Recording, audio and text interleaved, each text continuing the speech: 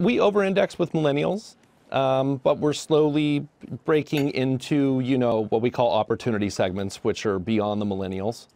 Uh, we think if you like ice cream, that uh, basically you'll like Halo Top too.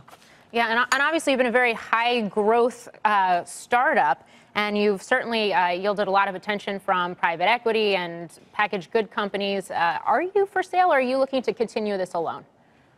That's right. No, we are not for sale, uh, and we are looking to stay independent. Uh, it helps us with our own brand, voice, ethos. Uh, we don't like to have people hammering down on our profit margins and things like that and cut good ingredients. So uh, we have a lot more fun uh, being independent. How do you keep the calories down and the taste and the sweetness up? This is 90 calories per serving, four in a container, 360 calories. Right. You can't go to Starbucks and have a latte, I don't think, that, that has fewer calories in that.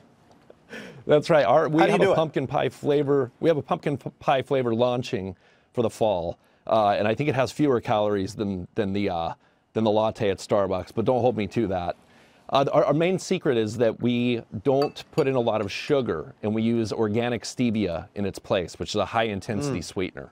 Uh, and if you can cut out a lot of the sugar of ice cream and replace it with something that tastes really good, Yeah. uh, that's that's honestly 90% of the battle.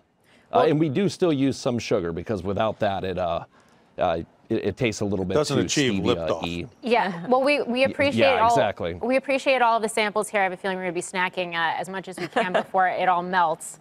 Justin Woolverton, Halo Top Creamery co-founder. Thanks for joining us today.